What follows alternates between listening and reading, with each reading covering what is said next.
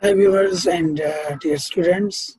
I'm here today to explain the Cambridge IGCSE ICT 2019 May-June paper 2-1 presentation part. So in this part of the question paper, they ask you to create a presentation of six slides using the file j21 literacyday.rtf. So we will create a PowerPoint presentation here and we'll click on blank presentation, then file, and then we'll click on open, and then we'll just click on browse here, then we'll go to desktop, and we'll get all the files. So let day. So this is how your six slides will be there in your presentation. Then after, on slide one, enter your name after the text presented by. So here you need to type your name just like that. And then next they ask you use a master slide display. Fine. We will click on uh, view here and then we will go to the slide master. We will go to the first slide here and then they ask us to make these changes.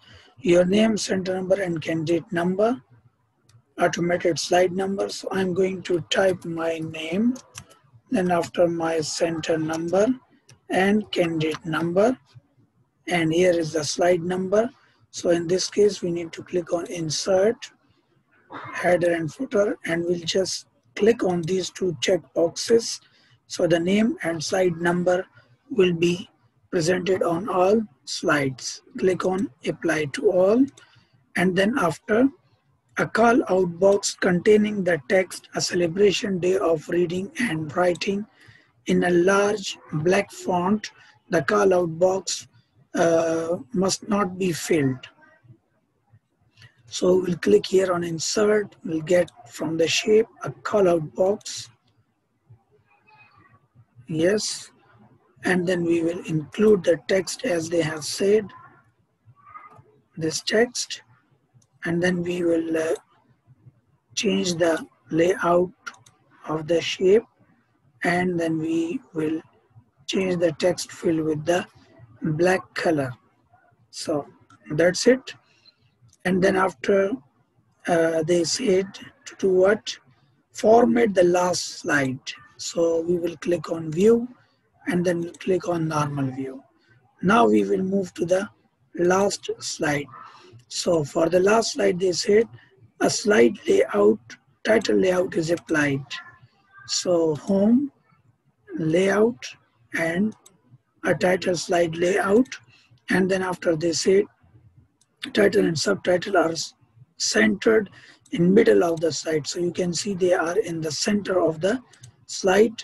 And then after they ask you to uh, save the presentation and print the whole presentation as a handout with two slides to the page. So you need to print, file, click on print option, and then here we have slide full page. No, click here, two slides per page, just like that.